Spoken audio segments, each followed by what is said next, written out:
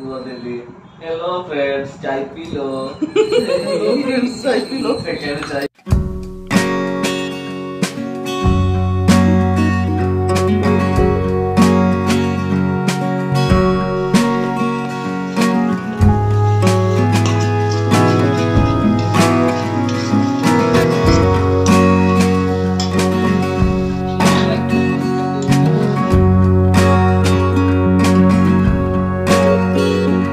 Mummy क्या बना रही हो? ये मछली नक, नकली मछली है। नकली मछली बन रहा है हम लोग का घर में। न- न- हमारे शाकाहारी। शाकाहारी मछली है ये। ये पत्ता सारू का पत्ता। ये तो ये हमारे घर के बगीचा में ही हुआ है ना मम्मी? हम्म, तो इसको ये सारू का पत्ता है। और ये बेसन में मम्मी क्या क्या मिलाई? बेसन में हल्दी नमक देके थोड़ा सा कड़ा करके। थोड़ा सा कड़ा करके घोल बनाया गया है ना? हल्दी नमक बेसन और उसको ऐसे? ऐसे करके पूरा। सन जो घोल बनाया गया था उसको पूरा ऐसे लगाकर उसको मोड़ना पड़ेगा ना मम्मी? हम्म, सारू का पत्ता का एक टेस्टी वाला रेसिपी हमको तो बहुत अच्छा लगता है। हम्म, सरसों मसाला का बनेगा ना माँ? हाँ सरसों मसाला।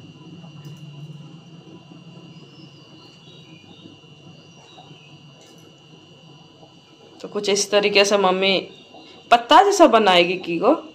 उसको रोल करेंगे। रोल होगा ना? सब तरफ़ बेसन लगा के रोल किया जाएगा।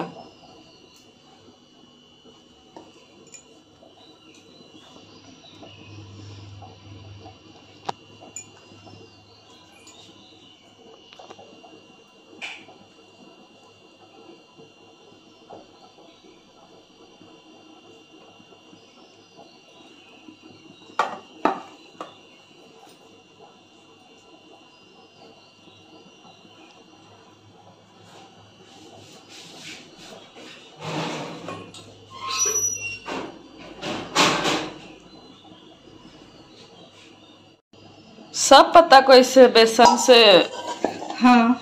मिला के उसको अभी निकला नहीं है पूरा पत्ता थोड़ा थोड़ा निकला है तो खींचा था पूरा पत्ता। खिच्चा पत्ता का ही टेस्टी लगता है ना मम्मी? हम्म, तो इसको रोल बना के इसमें पानी बिठाया गया है।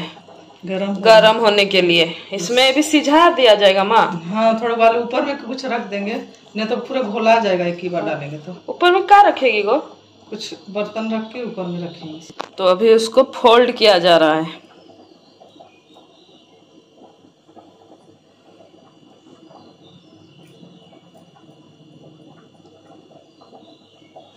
तो उसका ऊपर ऐसे झक्कन डाल दी मम्मी।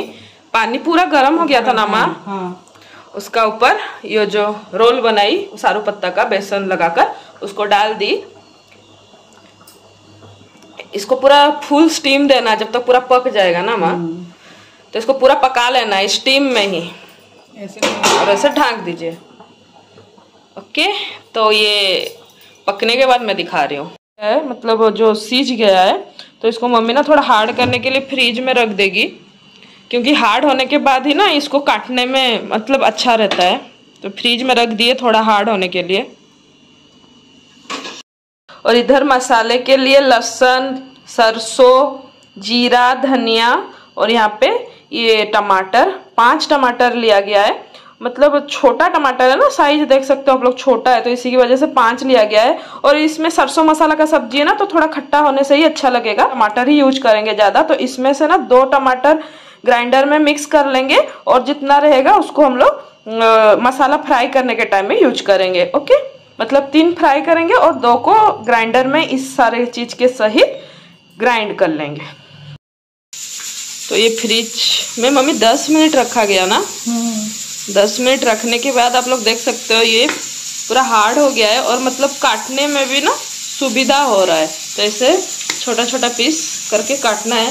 ये पूरा मछली का शेप है इसलिए इसको आर्टिफिशियल मछली का सब्ज़ी बोला जाता है। ओ, अच्छा। तो इसको फ्राई करने के लिए रिफाइन और मसाला बनाने के लिए सरसों का तेल। तो इसमें अभी मम्मी रिफाइन बिठाई है तो इसको पूरा लाल करके अच्छे से फ्राई करके निकाल लेगी। और इसके साथ मूंगफली का चटनी भी बनेगा। इसको लहसुन और कच्चा जो मिर्चा रहता है ग्रीन चिली वो दे के ग्राइंडर में इसका एक पेस्ट बनेगा। ये हमारे घर में हमेशा बनता रहता है, मुझे भी बहुत पसंद है। तो ये मम्मी डाल रही है। तेल गरम होने के बाद डाल दी है इसमें और इसको पूरा अच्छे से लाल होने तक फ्राई करेगी, कुरकुरा। ये आप लोग देख सकते हो, कितना सुंदर से फ्राई हो रहा है, पूरा मस्त वाला। मछली फेल हो जाएगा, नॉनवेज खाना भूल जाओगे। मुझे तो ये सारा सब्ज़ी बहुत टेस्टी लगता है। तो इधर मसाला बनेगा। तो मसाले के लिए जैसे मैंने बोला, सरसों का तेल यूज़ की है मम्मी। सरसों के तेल से ही ये सब ज़्यादा टेस्टी लगता है। तो तेल गरम होते ही अभी थोड़ा सा हल्दी डालेगी ताकि ना तेल गरम होने से छिटकता है कुछ डालने से। तो हल्दी डालने से वो नहीं छिटकेगा। मैं मम्मी से ही सीखी हूँ। मैं भी बोलते रहती हूँ हमेशा जब भी मैं कुछ रेसिपी शेयर करती हूँ। तो अभी थोड़ा हींग हींग तो हम लोग सब चीज़ में यूज़ करते हैं। मैं ये सब मम्मी से ही सब सीखी हूँ। हींग इसमें डाली मम्मी।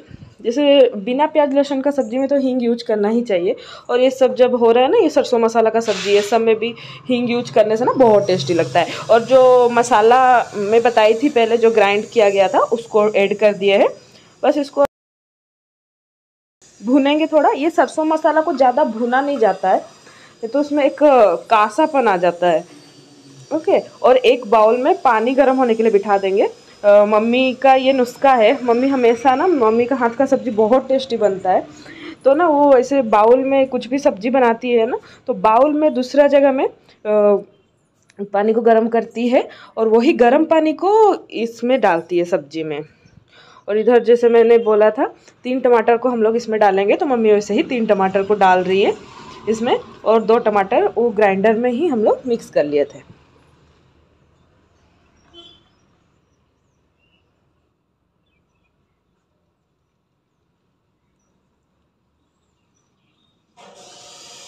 स्वाद अनुसार नमक दे देंगे। और लाल मिर्च का पाउडर भी ऐड करना है, वो मैं बताना भूल गई थी। वो हो चुका है। गर्म पानी बाउल में बिठाए थे, मम्मी बिठाई थी, उसको डाल देंगे।